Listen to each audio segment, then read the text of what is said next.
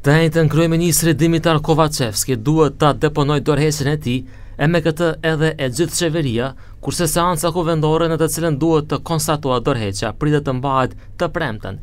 Me këtë, praktikisht kryeministrit i mbetet edhe vetëm një ditë në postin e të parit të qeverisë, por deri në zgjedhjen e qeverisë teknike që duhet të ndodhë deri të dielën në mesnatë, Kovaçevski dhe ministrat do t'i ushtrojnë detyrat e tyre.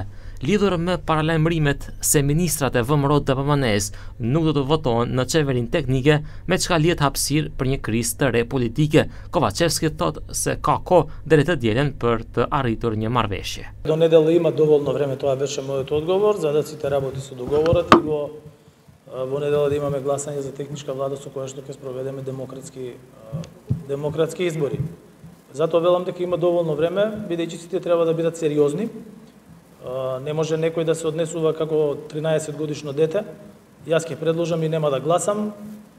Nema da glasam ova, nema da glasam ona, znaçi sekoj mora da bide seriozen.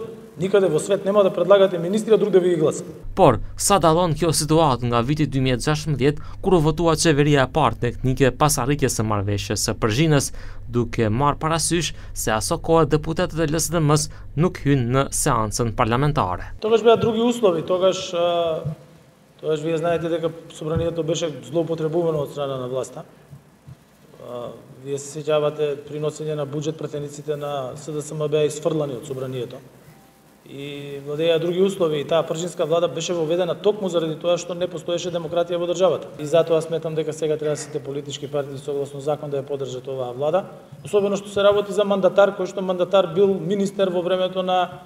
Vëmëro DPMN.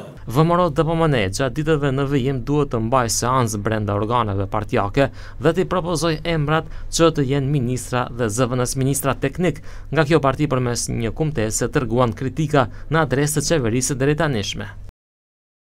Dimitar Kovaçevski një ditë para largimit nga posti i kryeministrit, në vend që të marrë guxim dhe t'u kërkojë falje qytetarëve për të gjitha gënjeshtrat, manipulimet dhe padrejtësitë, zgjodhi të gënjejë.